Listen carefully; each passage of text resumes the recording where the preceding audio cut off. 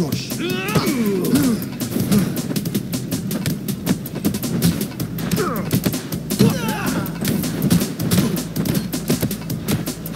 Not too bad.